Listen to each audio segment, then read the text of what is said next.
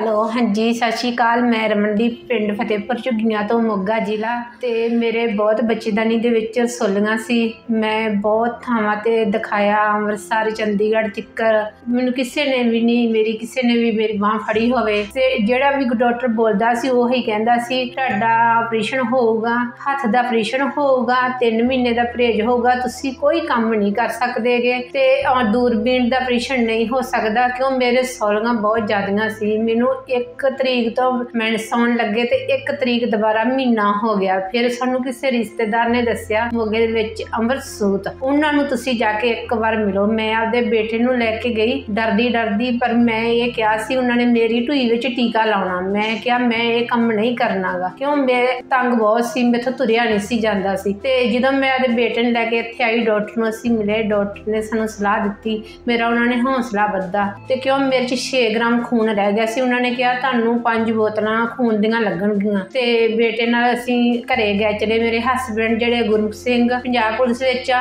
ਮੈਂ ਉਹਨਾਂ ਨਾਲ ਜਾ ਕੇ ਅਸੀਂ ਗੱਲ ਕੀਤੀ। ਬੇਟਾ ਮੇਰਾ ਕਹਿੰਦਾ, ਡੈਡੀ, ਆਹ ਗੱਲ ਆ ਤੇ ਆਪਾਂ ਕਿਵੇਂ ਕਰੀਏ? ਉਹ ਕਹਿੰਦੇ, ਤੁਸੀਂ ਸਵੇਰ ਜਾ ਕੇ ਡਾਕਟਰ ਨੂੰ ਮਿਲੋ। ਡਾਕਟਰ ਨੂੰ ਮਿਲ ਕੇ ਤੁਸੀਂ ਇਹਨਾਂ ਨਾਲ ਗੱਲਬਾਤ ਕਰੋ, ਕੋਈ ਗੱਲ ਨਹੀਂ। ਤੇ ਹੁਣ ਆਪਾਂ ਇਲਾਜ ਤਾਂ ਕਰਾਉਣਾ ਹੀ ਆ। ਅਸੀਂ ਜਦੋਂ ਇੱਥੇ ਆਏ, ਇਹਨਾਂ ਨੇ ਸਾਨੂੰ ਤਿੰਨ ਦਿਨ ਅਸੀਂ, ਇਹਨਾਂ ਨੇ ਸਾਨੂੰ ਇੱਥੇ ਬੁਲਾਇਆ। ਅਸੀਂ ਬਲੱਡ ਲਵਾਉਂਦੇ ਰਹੇ। ਬਲੱਡ ਬਲੱਡ ਲਵਾ ਕੇ ਅਸੀਂ, ਫਿਰ ਸਾਨੂੰ ਕਹਿੰਦੇ, ਤੁਸੀਂ ਇੱਥੇ ਦਾਖਲ ਹੋ ਜਾਓ। ਇਹਨਾਂ ਨੇ ਮੇਰਾ ਦੂਰਬੀਨ ਨਾਲ ਆਪਰੇਸ਼ਨ ਕੀਤਾ, ਮੈਨੂੰ ਕੋਈ ਪਤਾ ਨਹੀਂਗਾ ਮੈਂ ਅੱਜ ਅੱਜ 10 ਦਿਨ ਹੋ ਗਏ ਆ, ਮੈਂ ਵਧੀਆ ਆਪਦੇ ਘਰੇ ਕੰਮ ਕਰ ਕਰਦੀ ਆ। ਵਧੀਆ ਮੇਰੇ ਹਸਬੰਡ ਆ, ਮੈਂ ਉਹਨਾਂ ਦੀ ਵਰਦੀ ਪ੍ਰੈਸ ਕਰਦੀ ਆ ਵਧੀਆ ਮੈਂ ਆਪਦੇ ਪਰਿਵਾਰ ਨੂੰ, ਬੇਟੇ ਦੇ ਵਿੱਚ, ਨੂੰਹ ਦੇ ਵਿੱਚ, ਵਧੀਆ ਮੈਂ ਆਪਦੇ ਰਹਿੰਦੀ ਆ ਤੇ ਭਾਈ, ਮੈਂ ਤਾਂ ਇਹ ਤੁਹਾਨੂੰ ਸਲਾਹ ਦਾਂਗੇ, ਤੁਸੀਂ ਅੰਮ੍ਰਿਤਸੂਤ ਨੂੰ ਜੂਤ ਮਿਲੋ। ਜੇ ਇੱਥੋਂ ਦੇ ਸਟਾਫ ਦੀ ਕੋਈ ਗੱਲ ਕੀਤੀ ਜਾਵੇ, ਪਰ ਮੈਨੂੰ ਤਾਂ ਐਂ ਲੱਗਿਆ ਜਿਵੇਂ ਮੇਰੇ ਬੱਚੇ ਹੁੰਦੇ ਆ, ਇਧਰੋਂ ਆਏ, ਆਂਟੀ ਕਿਵੇਂ ਆਂਟੀ ਕੀ ਖਾਣਾ ਹੈ? ਕਿਵੇਂ? ਤੇ ਮਤਲਬ ਮੈਨੂੰ ਤਾਂ ਐ ਬੱਚਿਆਂ ਤਰ੍ਹਾਂ ਲੱਗੇ, ਮੈਨੂੰ ਕੋਈ ਨਹੀਂ, ਦੁੱਖ, ਕੋਈ ਤਕਲੀਫ ਨਹੀਂ, ਕੋਈ ਕੁਛ ਨਹੀਂ, ਮੈਂ ਤਾਂ ਕਹਾਂਗੀ, ਜਿਹੜਾ ਵੀ ਕਿਸੇ ਨੂੰ ਵੀ ਇਹ ਬਿਮਾਰੀ ਆ, ਜਰੂਰ ਡਾਕਟਰ ਨੂੰ ਮਿਲੋ। ਡਾਕਟਰ ਦੀ ਆ ਕੇ ਸਲਾਹ ਜਰੂਰ ਲਵੋ। ਤੁਹਾਨੂੰ ਕੋਈ ਦੁੱਖ ਕੋਈ ਬਿਮਾਰੀ ਹੋਵੇ ਤੁਹਾਡੀ ਡਾਕਟਰ ਸਾਹਿਬ